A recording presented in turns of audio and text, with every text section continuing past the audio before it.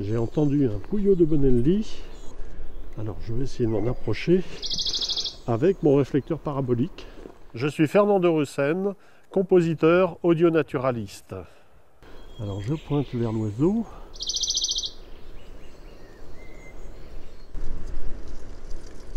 Ah, il y a beaucoup de vent et on entend même les, le bruit du feuillage.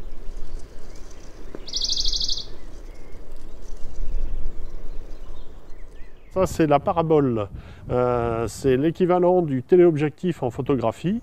Donc le téléobjectif euh, rapproche les animaux par un effet de loupe. Et là, c'est pareil, en fait, le chant des oiseaux vient se répercuter au fond de la parabole et se concentrer sur les microphones qui sont au milieu. Et donc, ça fait un, un effet d'amplification très fort. Ça, c'est parfait pour les oiseaux et ça permet de les enregistrer à une distance entre 15 et 30 mètres de distance. Maintenant j'ai un rouge-gorge.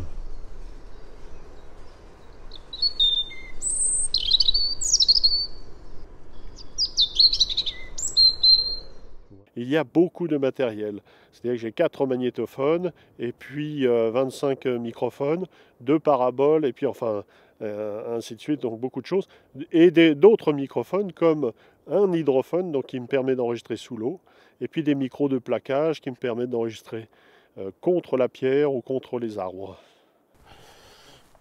Voilà, les micros vont passer la nuit sur le terrain, la soirée, la nuit et la matinée sur le terrain.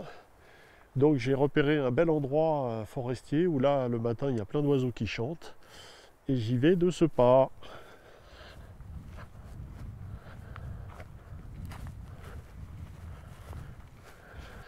Là on est en plein dedans, en forêt. Et là, j'espère avoir une belle séance. Ce qu'on appelle des micros libres, qu'on appelait auparavant pièges à son, qui me permettent de laisser pendant une longue durée euh, les micros en place et ils vont enregistrer toute la soirée, toute la nuit et toute la matinée de demain. Et ainsi ensuite je pourrais découvrir avec beaucoup d'impatience ce qui s'est passé et ce que la nuit et la nature m'a offert. Donc les jours ne se comptent pas parce que euh, ça peut être une journée comme des fois ça peut être 4 ou 5 jours. Pour les castors par exemple, il m'aura fallu 3 jours pour euh, avoir enfin cette petite séquence de 4 minutes. 3 nuits, 3 nuits, même pas 3 jours, 3 nuits. En fait je vise une espèce d'oiseau particulière là appelle l'accenteur mouché. Je viens d'ailleurs juste de l'entendre. C'est ça, il chante là. Il y a aussi un rouge-gorge qui chante. Ah ça peut faire un joli. Donc là, je pose ça. Et je vais mettre la boîte à son. Voilà.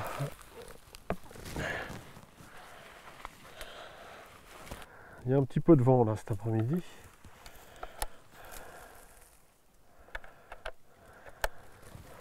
Voilà.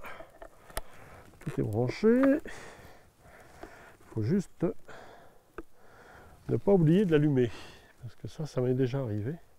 Je suis allé aux Galapagos, en Afrique du Sud, en Australie, en Nouvelle-Zélande, euh, au Spitzberg, au Québec, enfin voilà, dans, de multiples pays dans le monde qui m'ont permis en fait de récolter déjà un grand nombre d'enregistrements. J'ai actuellement en sonothèque euh, plus de 10 000 heures d'enregistrement pour 1200 espèces d'oiseaux, 200 euh, espèces de mammifères et d'innombrables insectes euh, et batraciens.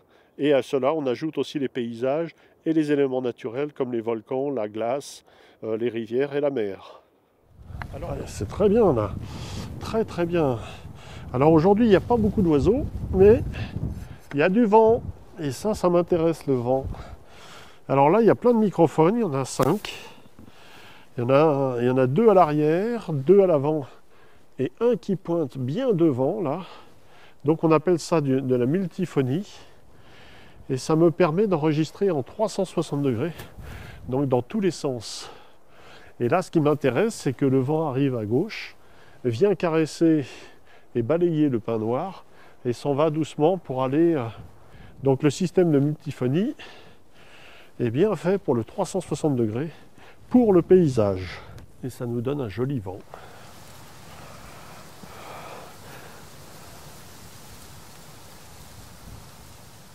Je cherche bien sûr toujours en priorité les animaux qui émettent des sons.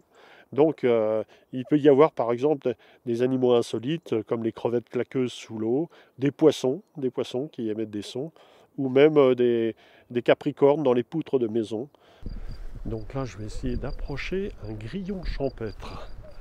C'est un grillon qui est dans le sol, mais il m'entend arriver juste avec la vibration des pas. Alors il faut y aller tout doucement.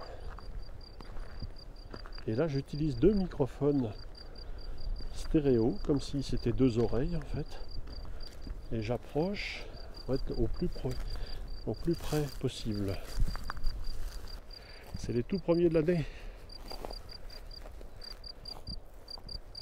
Y en a qui hésite. Parce voit très bien. Ah voilà, il s'est arrêté. J'essaye de repérer son terrier. Et une fois que j'ai trouvé son terrier, tac, tac, tac. Avant euh, d'être un technicien, je suis naturaliste. J'ai acquis un espèce d'instinct qui me permet, comme l'animal, de comprendre soit le paysage, soit l'événement qui va se passer. Et donc là, je place mes microphones en rapport euh, aux conditions d'enregistrement que j'espère obtenir.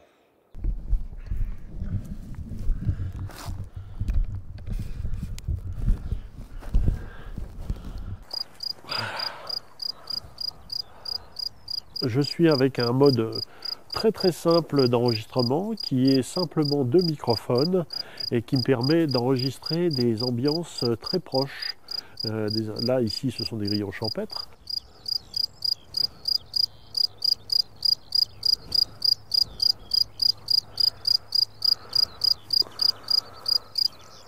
Parfois, ce sont quand il y a plein de fleurs partout, les abeilles et les bourdons qui viennent butiner, donc c'est très très joli.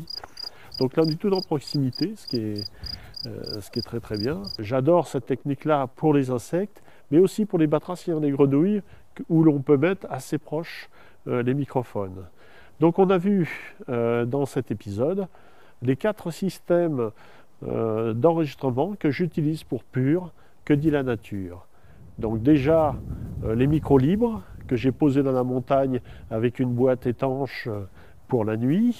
Donc ça, qui vont enregistrer et là j'aurai la surprise des enregistrements. Ensuite on a vu la multiphonie donc avec 5 microphones qui enregistrent en 360 degrés, donc dans tous les sens. Ça c'est pour les paysages sonores. On a vu la parabole donc qui me permet d'enregistrer comme un téléobjectif principalement les oiseaux entre 15 et 30 mètres de distance. Et là maintenant la dernière technique, peut-être la plus simple, celle des micros de proximité qui me permettent d'enregistrer les insectes, les batraciens et les petites ambiances subtiles euh, qu'il y a au sol ou parfois dans les arbres.